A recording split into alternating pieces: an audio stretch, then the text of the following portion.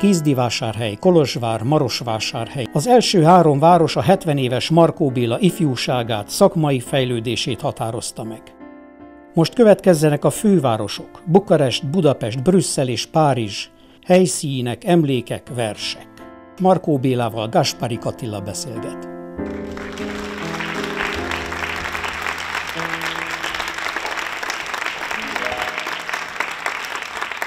Volt ugye ez a nagy változás, egy depressziós kódex másoló kiszabadul, egyszer csak a tömeg felemeli és felébred Bukarestbe emlékszem, rengeteg éjszakai vonatozás, hideg. Ezekkel a városokkal valahogy úgy van, hogy Kézdivásárhelyet szerettem, mert ott születtem, Igen. tehát ez föl sem merült. Kolozsvár egyből megszerettette magát. Marosvásárhely nagyon szeretem, de Marosvásárhely nehezen engedte megszeretni magát, meg kell mondanom, ez egy sokkal zártabb közösség volt annak idején. Bukaresttel kapcsolatosan ez nem merült föl, tehát Bukarestben én dolgozni mentem, ugye, ahogy akkor mondtuk, harcolni vagy küzdeni. Volt ebben tényleg harc is, küzdelem is. Na most őszintén szóval megszerettem közben Bukarestet, és hát évtizedeken át dolgoztam ott, és laktam is ott ténylegesen, elég hosszú időn át lehet ezt a bizánci, balkáni várost, ezt lehet szeretni is, és mindenképpen izgalmas tapasztalat számomra. A mai politikai élettel még van kapcsolatod a bukaresti részével? Például Johannisszal szoktatok beszélgetni? Nem. Nem, de van egy-két van egy-két volt politikus kollégám, akik időnként fölhívnak, vagy ilyen ünnepi alkalomkor köszöntenek, köszöntöm őket, karácsonyi üdvözletek, húsvéti üdvözletek, ilyesmi, de nincsen napi, Bocsánat, napi le, kapcsolatunk. Levél érkezett. No. Bukarestből. Megpróbálom lefordítani. Hát abban a kontextusban, hogy ön 70 éves, fogadja el ezt a gesztust részünkről, mint elismerés, elismerésül a munkájáért, egy kulturális ember értékeiért, aki hozzájárult a művészetek és a magyar kultúra romániai fejlődéséhez, és implicit módon a román kultúra egészéhez is hozzájárult. Bogdán Georgiu, a román művelődésügyi miniszter, és Románia csillaga érdemrendet kaptad ma. Igen, erről, erről tudok. Ez, ahol kezdtük, hogy nem, vesztes. Nem, nem tudtam, hogy este jár ide a posta, de e, e, köszönöm szépen ezt a levelet. Tessék sűrűben színházba járni, tehát Románia csillaga, meg lehet tapsolni.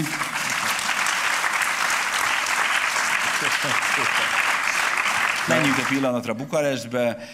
Egy ideig az Írószövetség elnöke volt Mircea Dinescu, Nagyjából együtt voltatok forradalmárok, ő a, a bizniszt választotta, te az életmentést, ahogy mondtad, volt annak idején, kisnépünk nagy sorsát igazgatjuk.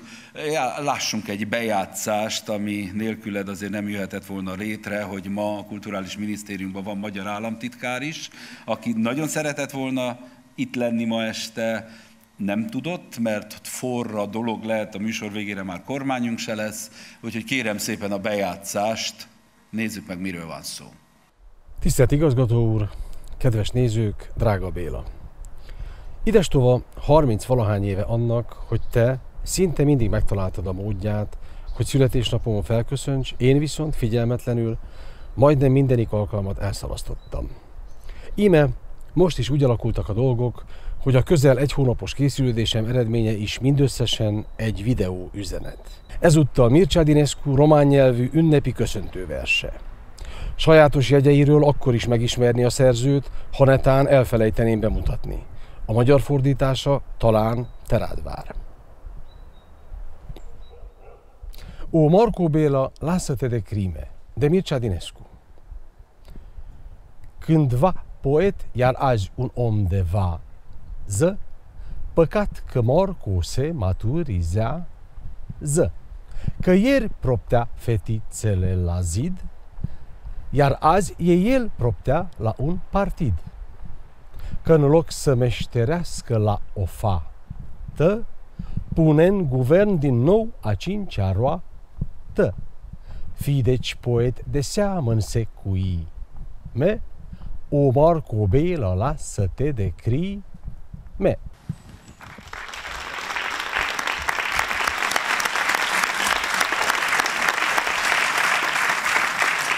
De aici îți mulțumim, Mircea, că ai fost atât de amabil și ai scris o poezie de ziua de naștere a colegului tău din Asociația Scriitorilor. Gătește mai departe, mulțumim. Uh, noi continuăm uh, programul nostru și îl rog pe colegul meu, Nicu Mihoc, care când a auzit că va fi serbarea sau evenimentul aici la noi, a ținut tare mult să spună și el o poezie. Ještě Kivánok.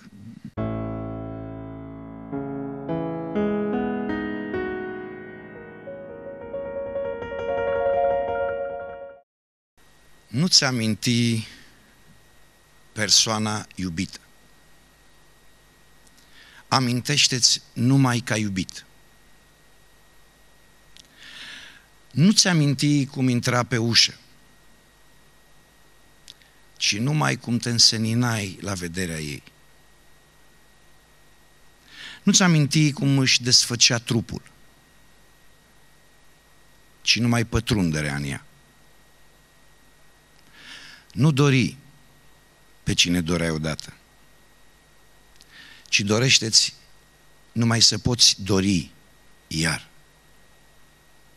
Nu visa la ce ai visat cândva, visează numai că a fost plăcută visarea. Nu-l căuta pe cel dispărut pe veci, ci pe cel ce ai fost și ai putea fi iar. Nu te gândi la iarbă, arbori, casă, o gradă, ci neîntrerupt Gândește-te la febra care a fost în tine și a, care e acolo și acum. Nu iubi pe cine te lasă, ci iubește iubirea. Nu crede în cine te înșală. Mai bine în credință, căci pentru ea nu trebuie nimeni. Nici diavol, nici Dumnezeu. Marco Bello. Hát térjünk vissza Bukaresthez.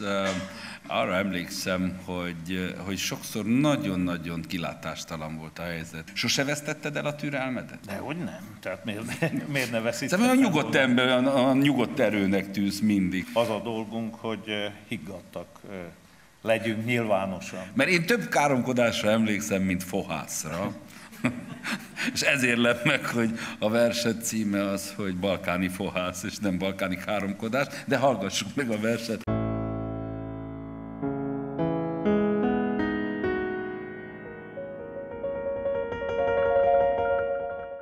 Balkáni fohász.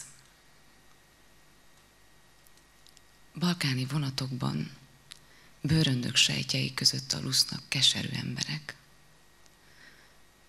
Mennyi fullánk egy kaptárban összezsúfolódva. Mennyi virágos peron álmaimban. Lecsorul a vér, a könny az ablakon. Muzsikálnak a vonatkerekek, s kiröpülnek majd gyilkos méheid. Olyan vagyok, akár a mézbe mártott kés egy fehér asztalon. Lángol fölöttem a délelőtti nap. Lángolnak megédesített késeid, mézbe mártott fullánkjaid. Mire használtál engem, Istenem? Mire használnak engem barátaim? Mire használnak engem szerelmeim? Mire használnak engem gyermekeim? Veronika kendője a világ. Folyók, hegyek, csillagok, vérnyomok, fenséges kaptárak zúgnak, elmocskolódott balkáni vonatok. Mire való vagyok? Nincsen már bennem félelem.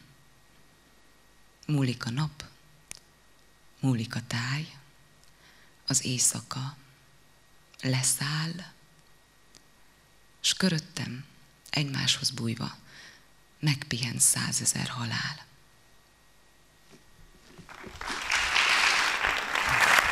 Maradjunk még egy kicsit Bukarestnél. A költő, egy, hát egy ünnepelt költőként mentél le Bukarestbe, József Attila díj 90-ben, tehát nagyon Magyarországon hirtelen sokat publikálsz. Tudtad, hogy akkor ez most itt stornó, tehát itt vége a költészetnek, vagy legalábbis egy ideig? Hitted, hogy még vissza lehet térni, vagy voltak ilyen, ilyen problémáid, úgymond a saját alkotó éneddel? Nem, én nem terveztem ilyen hosszú politikai pályát, mint ami aztán úgymond sikeredett Adatot. belőle, hogy így fogalmazzunk. Tehát nagyon komolyan azt gondoltam, hogy itt egy-két éves vállalkozásról van szó, amíg, amíg ugye beindulnak a dolgok, szükség van sokunkra, utána pedig kiki visszatérhet a maga hivatásához. Tehát engem tulajdonképpen az első években ez vitt előre, hogy ez nagy lendülettel vállalt munka, de rövid ideig fog tartani. Aztán kiderült ugye, hogy, hogy semmi sem megy olyan gyorsan, és hát bent ragadtam a politikában, és akkor valóban hosszú ideig nem írtam. Azt gondolom, hogy ezzel cáfoltam saját tévhittemet is, vagy másokét mindenképpen, hogy hát a, az alkotás az valami olyan kényszer, hogyha valaki igazi költő, igazi művész, akkor, akkor arról nem mondhat le, tehát nem, nem létezhet nem élhet nélküle. Most ebből az derül ki, hogy vagy nem voltam én, vagy vagyok igazi alkotó, mert, mert jó tíz esztendeig valóban nem írtam verset. Én persze hajlok a másik magyarázat felé, és pedig, hogy értelmes élet sokféle van, értelmes cél sokféle van, és egyik értelmesnek tartott célt a másikkal föl lehet cserélni, és ez történt velem, így gondoltam, amíg, amíg politizáltam.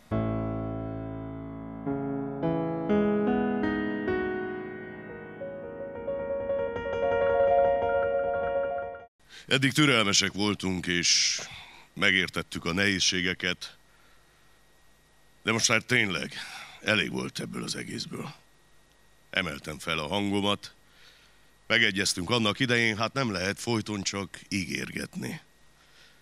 Előbb-utóbb ki fognak menni az utcára, tettem hozzá. Egykor érzékeny poéta, most könyörtelen pártelnök. És miközben jól hallhatóan megrecsent alattam a rokokó karosszék, a hajdani tudós professzor arcára kiült valami rémült bizonytalanság, aztán hirtelen elkomorult és idegesen annyit mondott. Na is. Oda küldünk néhány harckocsit, és egy-kettőre csend lesz. Majd meglátjuk, feleltem, bár fogalmam se volt, hogyan fogunk kijönni ebből a padhelyzetből és az órák óta tartó vita itt meg is szakadt köztem és az államfő között, akivel egyébként már-már baráti viszonyban voltunk, tudtommal. Különben is későre járt. Mindketten úgy mentünk haza, mint a tényleg azok lennénk, akik éppen vagyunk.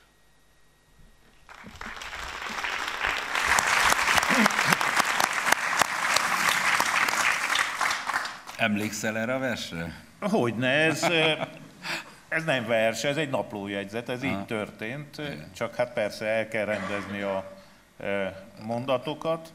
A történet másik szereplője az Emil, Emil Konstantinescu államelnök, és egy apropó, hogy mikor veszíti el a türelmét valaki, egy nagyon éles négy szem közti vitánkról szól ez a vers. Uh-huh. Hát gondolom, abból volt elég. Utazzunk tovább, menjünk el Budapestre. Hogy él benned Budapest? Változott a te életed folyamán attól, hogy először voltál, és, és, és a múlt héten voltál? Vagy van több Budapested, vagy, vagy ugyanaz az egy Budapest maradt? Hogyne, van több Budapest, van több e, e, Magyarország, e, ugyanis hát én egy álombéli Budapest, egy álombéli Magyarország képével nőttem föl, Budapest és Magyarország vágy és irodalom volt számomra, tehát Debrecen az ugye jelenthette a légyó mint haláligot, jelenthette Csokonai Vitéz Mihályt, de kézzelfogható látvány semmiképpen. Budapest jelenthette a Grundot, a Pál utcai fiúkat, és hát folytathatnám a sort a Duna jelenthette, ugye József Attila Dunáját. Ilyen volt a, a mi Magyarországunk, egy nagyon szép, egy, egy vágyott Magyarország és egy vágyott Budapest. Nos, ehhez képest persze, hogy a valóság sokkal bonyolultabb volt, ez teljesen természetes. Nem jó megismerni a a valóságot, ha túl sokat álmodtál róla. A mostani Budapesttel meg hát mindenféle ellentmondásos érzéseim, érzéseim vannak, de azt gondolom, hogy mindannyian végigéltük ezt, hogy hogyan lesz az álomból valóság, mennyire felszabadító ez, mennyire szép, és aztán időnként mennyire Eh, mennyire kiábrándító. De egyébként szeretem Budapestet, és, eh, és hát nagyon szép város. Varga Balázs tolmácsolásában mindazt, amit most elmondtál, rímekbe szedve fogjuk meghallgatni.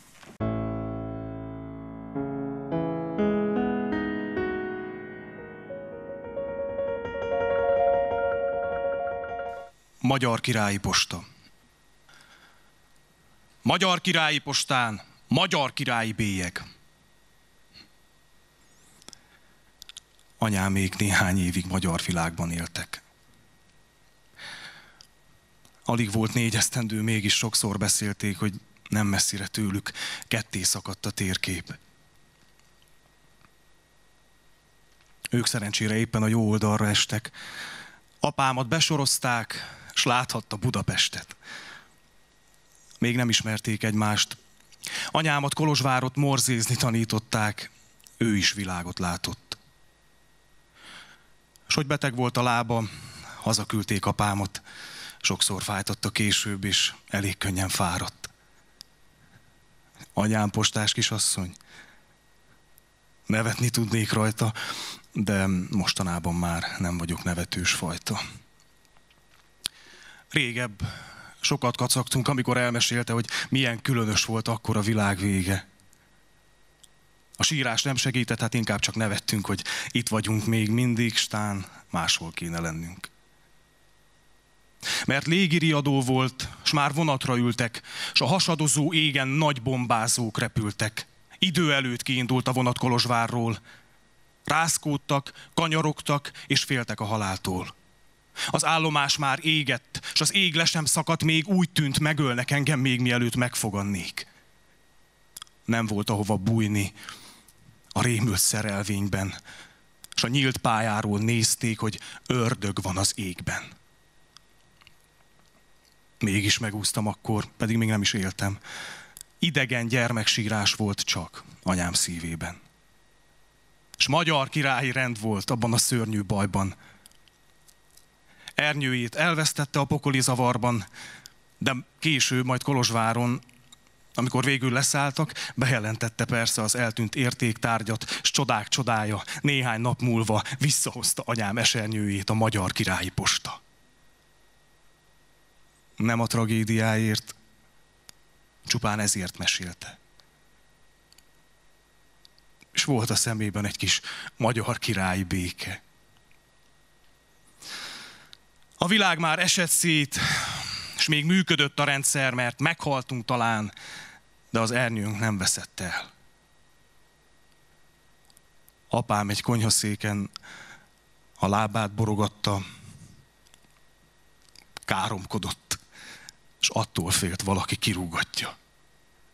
Bombáztak össze-vissza, bombáztattuk magunkat. De ernyőnk kinyitottuk, és a bombák arra hultak.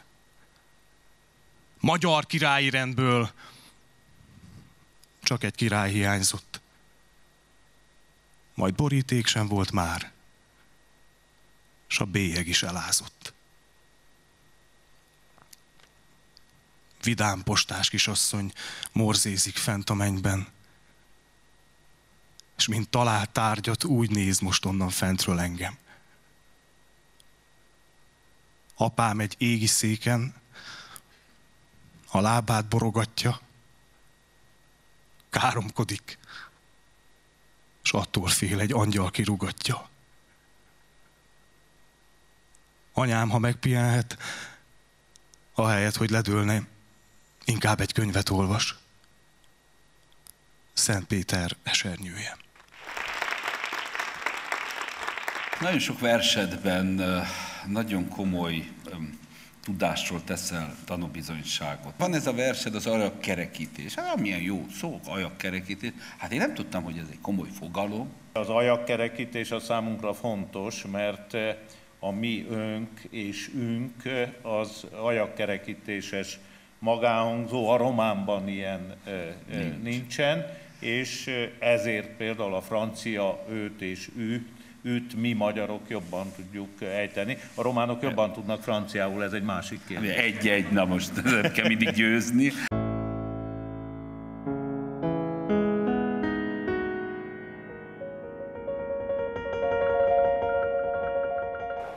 Ajakkerekítés. Honnan is tudhatnátok, hogy igazából melyik a legszebb magyar szó? Láng, gyöngy, Anya, ősz, szűz, kart, csók, vér, szív, sír.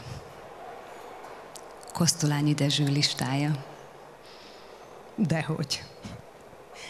Pontosan 40 évvel ezelőtt, 1978-ban, amikor először jártam nálatok, megtanultam egyszer mindenkorra a legszebb magyar szavakat. Bihar keresztes. nyugati pályaudvar. Vagy ami felejthetetlen gyönyörű. Máig könnyed csal a szemembe. Közért. Ó, azok a hosszú ékezetek. És az ajakkerekítés és vonatállomások, városok, utcák, cégtáblák mindenütt. Jöttem egy veláris énségből a háztetős magánhangzók, a másalhangzók aljára akasztott, üresen himbálózó kampók világából, ahol már csak itt-ott. Már csak egy-egy színházteremben lángolt, gyöngyözött, csókolt, sírt Kosztolányi Dezső. Hát van-e annál meghatóbb, mint félhangosan elolvasni Battyányi tér. Aztán pedig a legszebb magyar mondatok, például Tessék vigyázni, az ajtók záródnak. Oh, az a magyar bariton. Az az összmagyar robogás József Attila Dunája alatt. Nem hallgat a mély, micsoda tévedés, hanem szágult, újságot olvas magyarul, míg fölöttünk tova hömpölyögnek az Erdélyből jött árvízi hajós izzadságcsepjei. Majd persze a szívet, lelket lenyűgöző változatosság. Ugyanazon a könnyed, mégis férfias hangon megállóról megállóra. Az ajtók záródnak, kérem, vigyázzanak. Vagy csukódnak az ajtók, tessék vigyázni. És így tovább. Ülni 27 évesen két gyerekes családapaként a föld alatti magyar robogásban. Elutazni végállomásig és vissza csak azért, hogy a legszebb magyar mondatokat újra és újra. Értitek, ugye? Mert csukódnak és záródnak. És tessék, és kérem. Úgy tűnik, csupa szeretet, csupa boldogság, csupa megszólítás, csupa szórend és csupa szórendiség, semmi ajak kerekítéses pökhendés pökhendiség. Szeretnék vissza. Oda, Abba. ismét, Megint. és állandóan, És folyamatosan. és megszakítás nélkül, És mindig. Mert ehető, iható mondatok. és laktatóak, és megnyugtatóak. Szájunk szélén lecsordul Egy-egy kortnyi ódnak, és ázni, és rem, és tók. A mohó rágásban, nyelésben, fuldoklásban lehull egy-egy morzsa, hogy aj, és tess, és kér, mit tettetek a legszebb magyar szavakkal?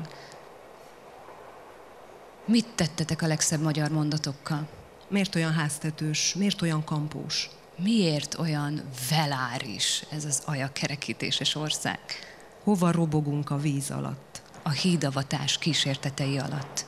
A Dunába lőtt zoknik és harisnyák a parton hagyott cipők alatt. A rutinban, a kopásban, a közönyben.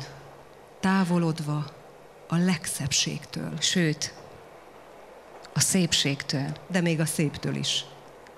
Ahogy vissza-vissza ugrik a lemezjátszó tűje. De ezt is kiérti már. Mit tettetek a legszebb mondataimmal? Csak annyi maradt belőlük, hogy Záródni. záródnak? Záródni? Az ajtók záródnak. Csak annyi? Kint maradni. Belépni. Én szeretném még egyszer megkönnyezni azt, hogy Berettyóújfalu. Vagy, Házon kívül tartózkodik. vagy, Nyitva tartás. de már nem láng, Nem gyöngy. nem anya, Nem szűz. nem sírok.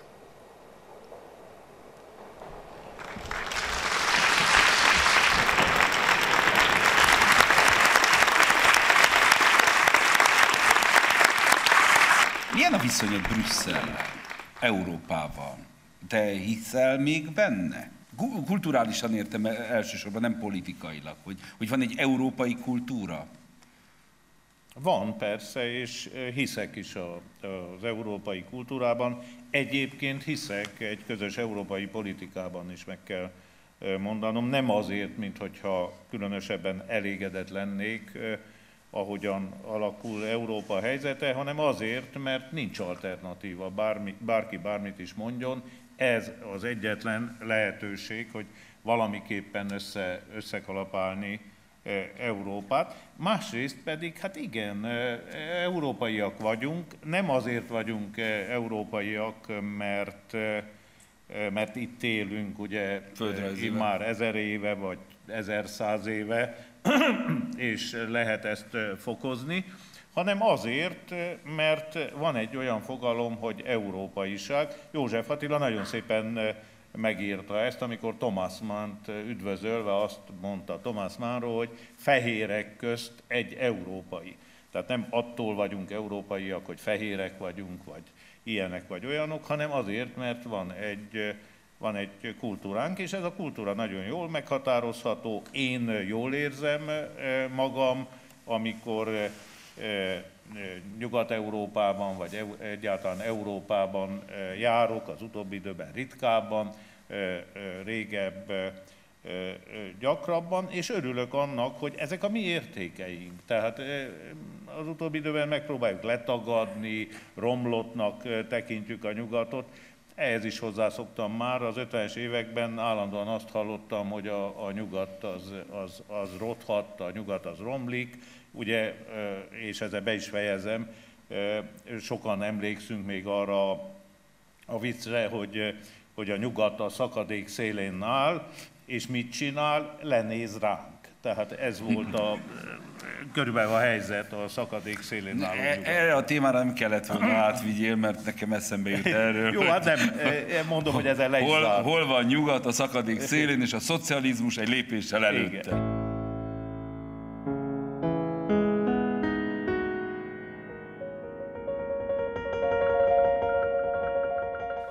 Száz év hiány. Ha az egyébként nagy tehetségű. Adi Endre. Valamivel felelősségteljesebb, és hogy is mondjam, talán nem feltétlenül kormánypárti, de józanabb mégis, akkor nyilvánvalóan sok mindent másképp látott volna. Egy ilyen Adi Endre például nem nevezte volna Geszti Bolonnak Tisza Istvánt. És megértette volna, hogy nem csupán egy nemzet, hanem egész Európa sorsa nehezedik a vállára. Egy ilyen Adi Endre biztató újságcikkekkel segített volna kormányozni Magyarország hajóját. Azon a három tengeren, amelyek egykor határainkat mosták. Egy ilyen Adi Endre tudta volna, hogy a háború, az háború. És a történelem robogó mozdonya elől nem lehet sohasem félreállni, hanem fel kell venni a harcot. Mondanom sem kell, hogy egy ilyen Adi Endre nem rontotta volna meg a magyar lányokat és asszonyokat, mert tisztelte volna bennük a jövőt. És soha nem állította volna, hogy nekünk mohács kell. Ugyan bizony. Miért kellene mohács? Hát, miért rohannánk a pusztulásba? Egy ilyen Adi Endre bízott volna a magyar nép vezetőiben. És miért ne bízhatott volna, hiszen amikor meghalt, még nem dőlt el semmi. Egy ilyen Adi Endre nem kötött volna bele a kanonok sorba. Mert egyet értett volna az egyházi vezetőkkel, hogy nehéz időket élünk. És aki közben jár Istennél az érdekünkben, annak ehhez szüksége van, a megfelelő körülményekre. Erre az Adi Endrére vártunk. Ne járjon lédával a bálba. Ne nézegesse Szent Mihály útján a tréfás faleveleket, legyen itthon. Hogy biztasson. Hogy segítsen. Hogy hozzájáruljon. Ne Párizs legyen az ő bakonya, hanem a bakony legyen az ő bakonya. Egy ilyen Adi Endre, ezzel a tehetséggel, milyen szép szerelmes verseket írt volna. És hogy lelkesítette volna katonáinkat. Mert ha nem sejtette volna, talán meg se történt volna ha nem jósolta volna, nem lett volna, ami beteljesüljön.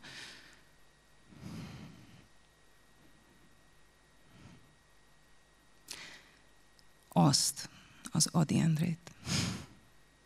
Természetesen nem Adi Endrének hívták volna. Na, hogy hívták volna? Azt hiszem mindegy. Szerettem. Adi Endrét. A legjózanabbat közülünk.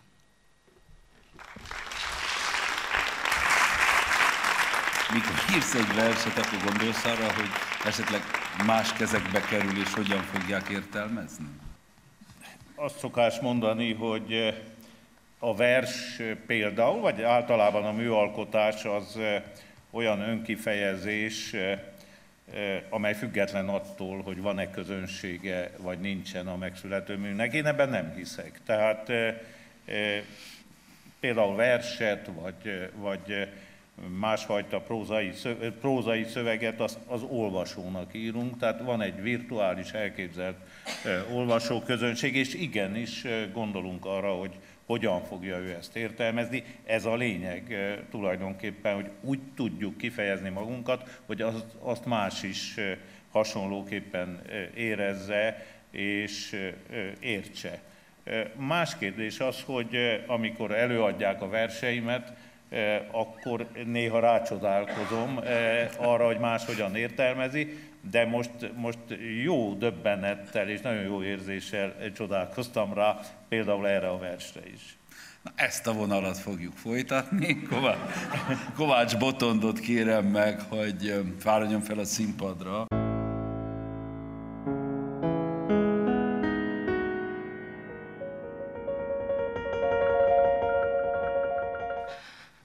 Nem szeretném, a cigányok lennének a szomszédaink, mert ellopják a kertből a paradicsomot. Minden éjszaka randalíroznak, és állítólag megeszik a döglött tyúkot is. Nem szeretném, ha románok lennének a szomszédaink, mert soha nem tartják be a szavukat túró és sajtszaguk van. És amire észrevesszük, kihúzzák a talpunk alul a földet. Nem szeretném, a zsidók lennének a szomszédaink, mert megölték Jézust. Se nem ők ölték meg. Ki tudja, mit tettek. Uh-huh. Egyébként is utálatos dolog, hogy olyan különlegesen tiszta ételeket esznek állandóan, ser, ser, kósernek mondják az ilyesmit.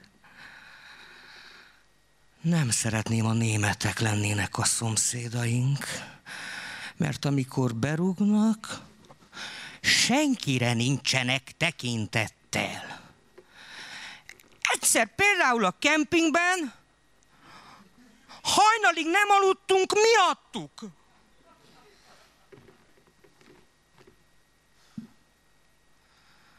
Nem szeretném, a muzulmánok lennének a szomszédaink, mert ezeknél nem bűn lefejezni vagy felrobbantani a keresztényeket.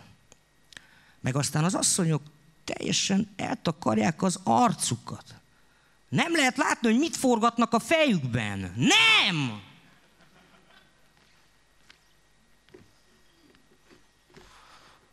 Szeretném, ha mi lennénk a szomszédaink. Mert este nyitott ablaknál nézzük a televíziót. Sőt, valamelyik nap nem vettük észre, hogy nyitva van az ablak, és egyebet is műveltünk. Nem beszélve arról, hogy a kutyánk egész éjszaka ugat, ha rájön a ha mehetnék. Igen, ez a válaszom. Nem szeretném semmiképpen.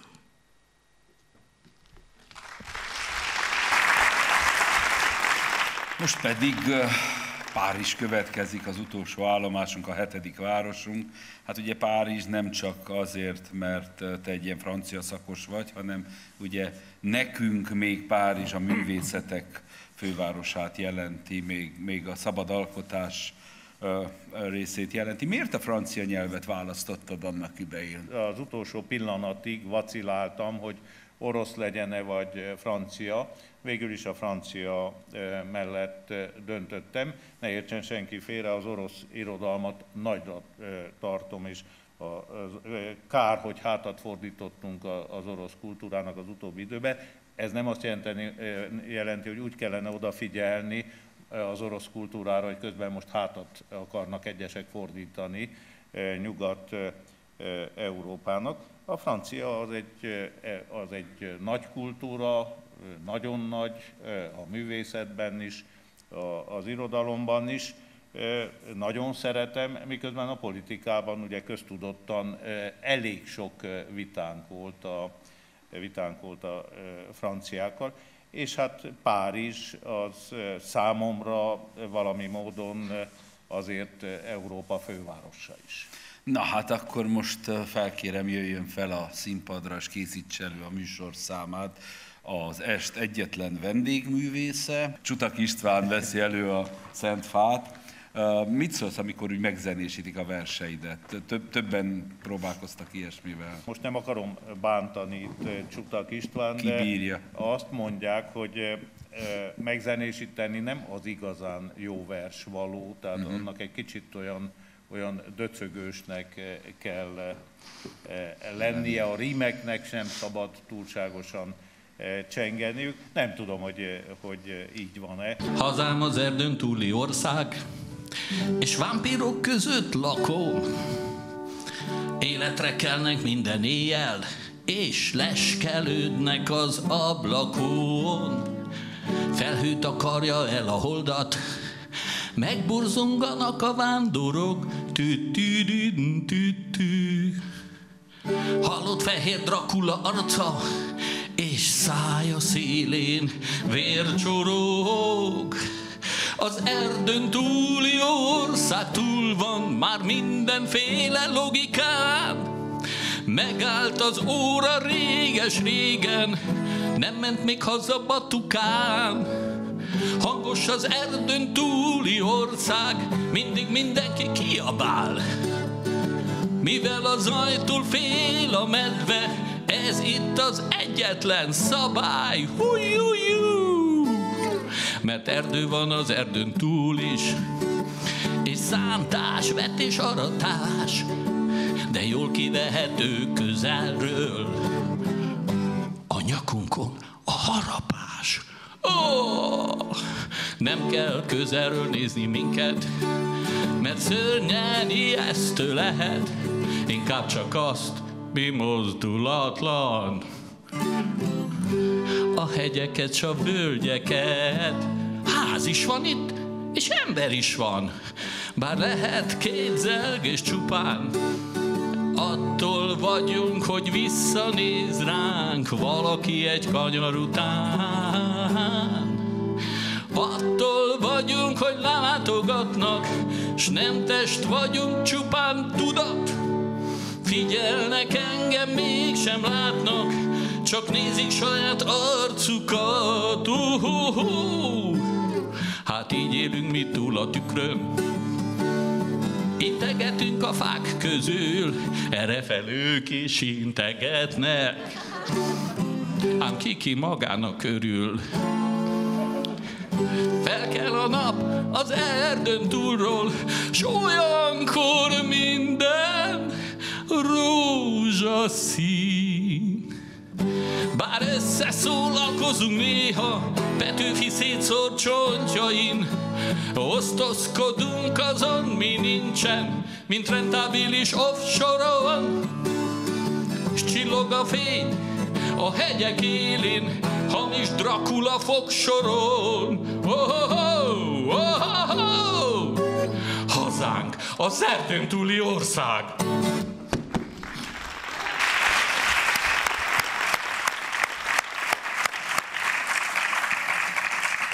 Íróknál mondják, hogy kulcsregény. Van a költöknél kulcsvers. Tehát az, ami, ami előre-hátra megmagyarázza mondjuk az életműnek legalább egy részét. Hát minden vers kulcsvers, hogyha éppen arról van szó, mert személyesebb szépírói, szépirodalmi műfaja versnél nincsen. Sebestyén Abát fogom felkérni, hogy adja elő ezt a verset.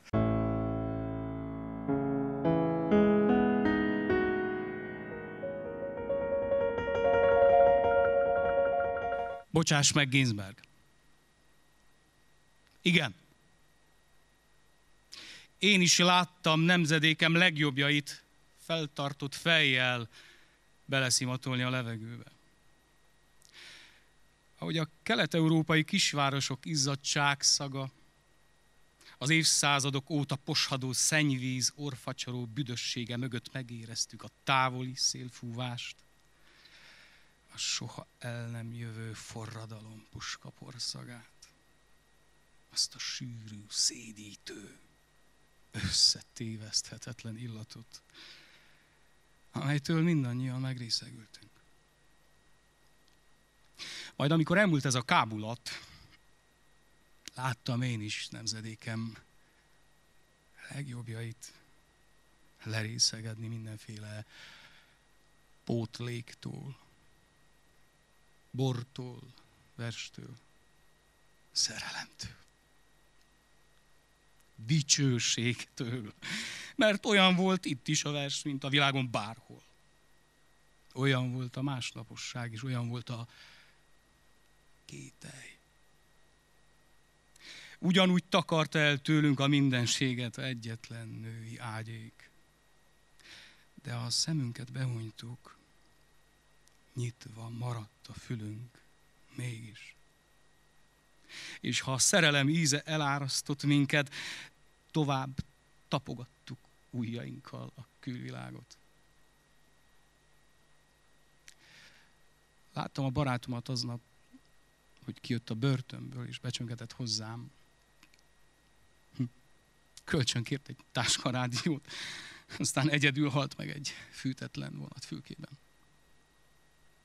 És láttam a többieket is, akik halára itták magukat. És láttam azokat is, akik besúgók lettek. Láttam nemzedékemet. Tudom, kik voltak, és tudom, hogy mivé váltak. Igen, láttam én is nemzedékem legjobbjait elgyávulni egy örökké valónak hit egyenruhától. Láttam, amint egyre ritkásabb fürtjeiket átfésülik egyik oldalról a másikra, és láttam, hogy hányan belehaltak egy hangyaboly világ szörnyű magányába. Igen. Nemzedékem legjobbjai voltak azok is, akik végül életben maradtak, de elfelejtették, hogy mire vártak. Nem szaggatják fáról a cseresznyét, nem cseresznyéznek egy fáról a madarakkal, jól érzik magukat a bolyhos házi kabátban, és ha azt a szót hallják, hogy szabadság, legelőször a nyári vakációra gondolnak, hosszan nézegetik a bedekkereket. Igen. Már nemzedékem legjobbjai is alig-alig néznek a csillagos égre. Nem írnak dühös verseket, nem konspirálnak a zsarnok ellen. Szakács műsort vezetnek a televízióban. Nagy élvezettel teszik, veszik a serpenyőket, villámgyorsan szeletelik a hagymát, és egy-egy incsiklandó falattal lenyűgözik a műsorba meghívott fiatal színésznőket, vagy az öregedő rockénekeseket. Igen. Nemzedékem legjobbjai emlékeznek még arra a versre, amelyben nemzedékének legjobbjait siratja a költő, hiszen ifjú korunk közös élménye volt ez. De a nem létező Isten nemzedékről nemzedékre felújított és újra hasznosított DNS-e megkopott bennünk, elfáradtak az ölükben elektromos gitárt ringató, torkuk szakadtából üvöltő, hosszú hajú kamaszok. Igen. Nemzedékem legjobbjai, miniszterek, államtitkárok, vezérigazgatók lettek. És, és hogy mostani álmaikat valóra váltsák, meg kellett tagadniuk, hajdani álmaikat és el kellett felejteniük, hogy mit ígértek, a már már hethetét országon is túl sírdogáló, elhízott, viszeres lábú szerelmeiknek. Igen. Nemzedékem legjobbjai is megtanulták, hogy az elegáns szolgálati autókban a jobboldali hátsó ülés az övék.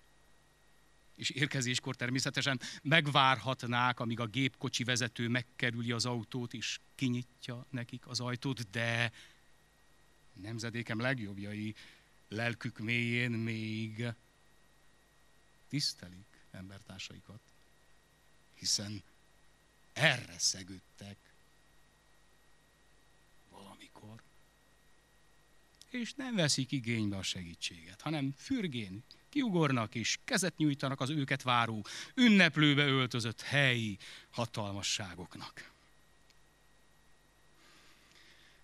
Nemzedékem legjobbjai, ha akarnák, megértenék, hogy mit mondok. De nem akarják, mert elég bajuk van így is, reggeltől estig és estétől reggelig, és kár, hogy csak 24 órája van a napnak, mert nemzedékem legjobbjai szeretnék ország és világ megváltó programjukat mielőbb gyakorlatba ültetni.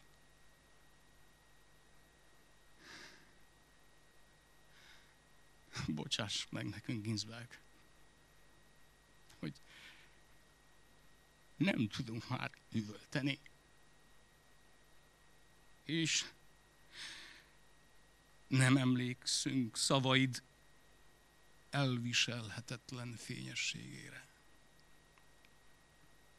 El kellett fordulnunk tőled, hogy végképp meg ne vakuljunk. és hihetetlenül messze van már a remény, hogy virággal le lehet győzni bármiféle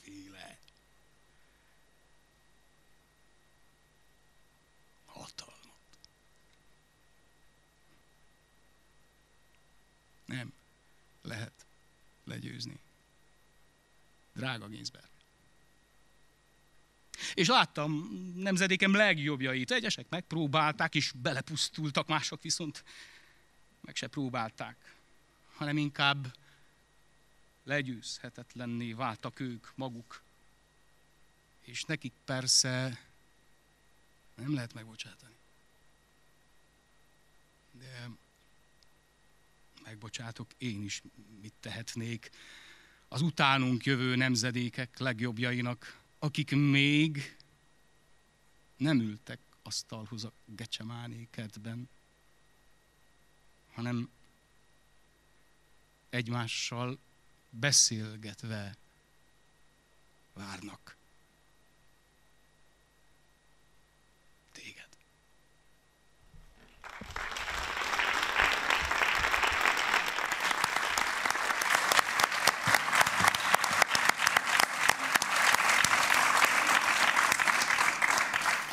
És ha családdal kezdtük, akkor végére is jöjjön a család, a családfa, ami költészetednek most egy igen fontos része.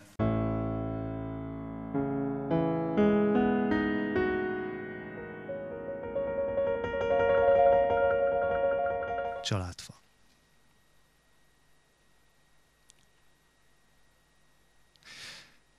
Azt hittem, nyomtalanul eltűntek. Legfeljebb még egy-két korhat koponya és néhány megrepedezett csont maradt belőlük a földben. De látom, elkezdtek visszaszivárogni, mert valahol talán nem zár eléggé fölöttünk a mennyország, vagy alattunk a pokol, ugyanis fogalmam nincs, hogy hova kerültek. Újabban viszont már elvétve megjelennek a számítógép képernyőjén amióta megvannak a technikai feltételek. Addig-addig kattingatok, hogy egyre jobban látható az arcuk. Mint a füzetlap alá helyezett pénzérme, ha a grafitceruza tompa végét finoman ide-oda húzogattuk rajta. Egyszerre csak meglelem Markó Bélát, mármint nem saját magamat. Nem is apámat, akit ugyanúgy hívtak, hanem nagyapámat, akit szintén úgy hívtak, mint engem nem nagyon volt a családnak fantáziája. Szóval meglelem az Ellis Islandi bevándorlási hivatal nyilvántartásában. 1922. november 16-án érkezett, legutóbbi lakhelye olasz telek, Románia, etnikuma magyar, 33 éves, nős, haja barna, szeme barna, öt láb, hét hüvelyk magas, 40 dollár van nála, Danzigban szállt fel a prezident Arthur óceánjáróra. Én is jártam abban a kikötővárosban, 90 esztendő múlva, de akkor már Gdansk volt a neve.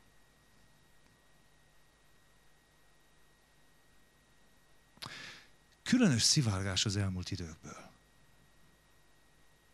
Életre kelnek, mint Dracula, hiszen errefelé már rég egymás vérét szívjuk. És végül is olyan romantikus minden. Lassan-lassan ismét kirajzolódnak nagyapám körvonalai, összeáll a kiszivárgott információkból, mondhatni feltámad. Na persze nem úgy, ahogy a megváltó Emmausban, nem annyira hirtelen, és nem annyira meggyőzően. Bár persze akkor is voltak hitetlenek.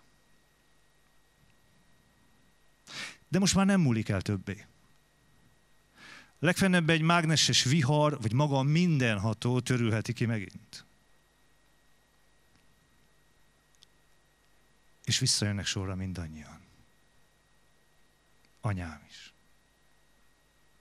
Apám is.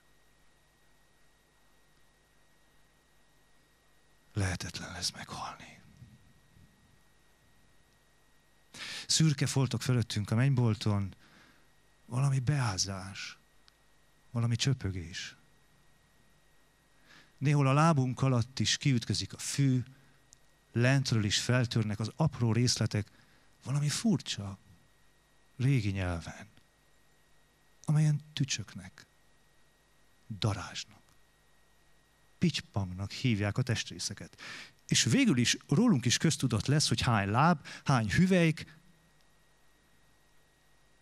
hány hangya, hány szöcske, hány apró idegcsomó, hány alig látható útkereszteződés Isten hatalmas idegrendszerén? Ezen a Microsoft, vagy talán Apple szabadalomban működő világhálón. Eleintem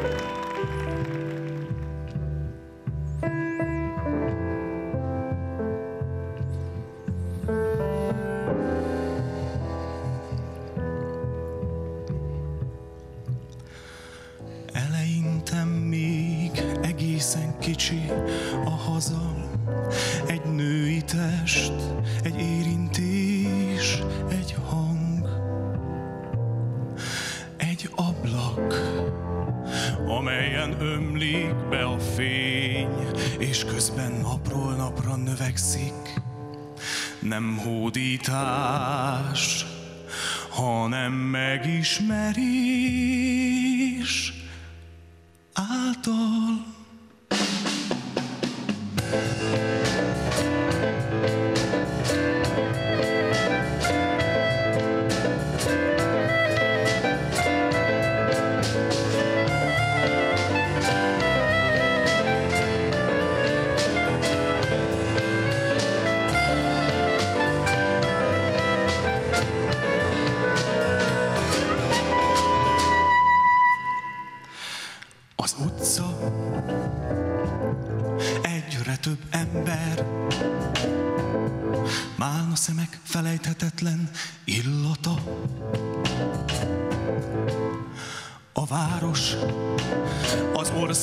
szerencséd van, hazád lesz, a haza is. Vagy nem, de akkor is. Egyre növekszik. Egy kontinens, könyvvárosok a szajnaparton, sok ember, több női test, a boldog terjeszkedés